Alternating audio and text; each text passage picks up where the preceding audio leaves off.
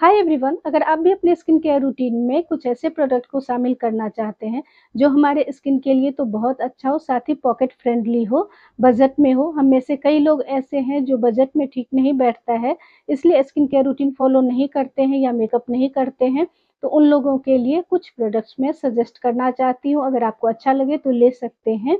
Number one पे आता है फेस क्लिनजर सबसे पहले हम अपने फेस को क्लीन करते हैं। इसके लिए अगर आपकी स्किन नॉर्मल या टू ड्राई है तो आप ले सकते हैं सेटाफिल का जेंटल क्लिनजर बहुत ही अच्छा है, बहुत अच्छा काम कर रहा है। अगर आपकी स्किन ऑयली है तो आप प्लम का ग्रीन टी ले सकते हैं।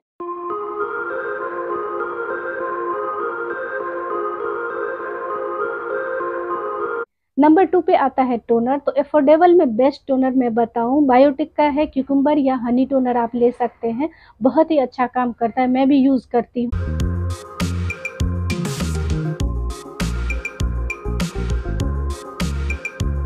नंबर थ्री पे आता है moisturiser. Normal to dry skin वाले अरोमा मैजिक का ले सकते हैं, बहुत अच्छा है।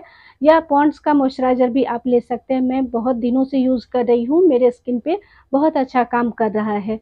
ड्राई स्किन है तो आप सेटाफिल का डैम मॉइस्चराइजर ले सकते हैं।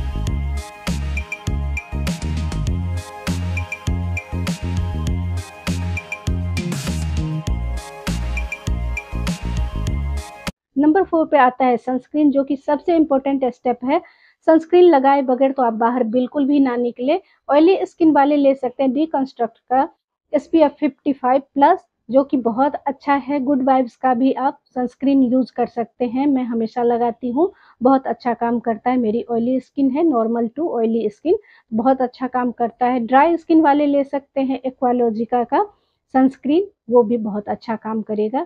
तो ये सब अफोर्डेबल में बेस्ट हैं प्रोडक्ट हैं। आप लेके एक बार देखिए यूज़ कीजिए, तब बताइएगा कि मैंने कैसा सजेस्ट किया।